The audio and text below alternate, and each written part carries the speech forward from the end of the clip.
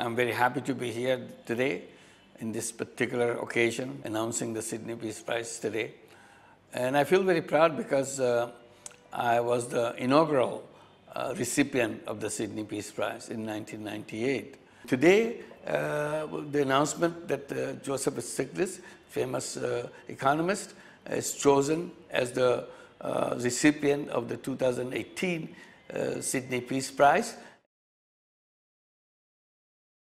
Well, thank you very much. It's a real pleasure. It's a real honor to receive uh, uh, this prize. Uh, it means a great deal to me, uh, partly because uh, there is nothing more important than peace. And uh, I believe so strongly that economic and social justice is necessary for achieving peace.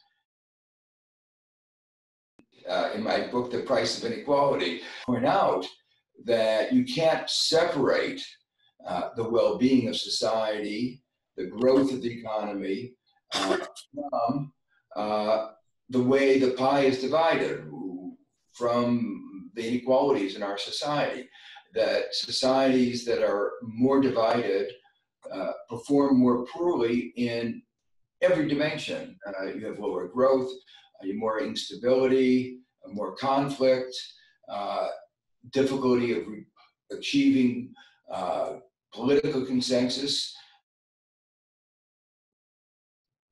Well, there's absolutely no doubt that uh, in countries where there are high levels of inequality, and particularly when that inequality uh, goes across uh, ethnic boundaries as related to uh, ethnicity, that it leads to more uh, political conflict.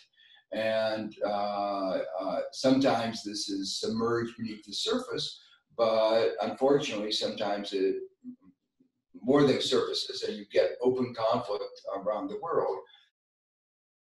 Well, it's partly uh, uh, that for a long time, for more than a third of a century, uh, the world has been sold on the absolute opposite idea of trickle down economics like somehow if you threw enough money at the top, everybody would uh, be benefit off, uh, be better off.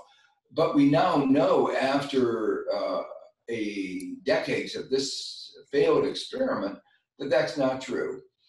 We've thrown an awful lot of money at the very top, and uh, the result of that has been growth is actually slower than before this era of sometimes called neoliberalism, trickle down economics began.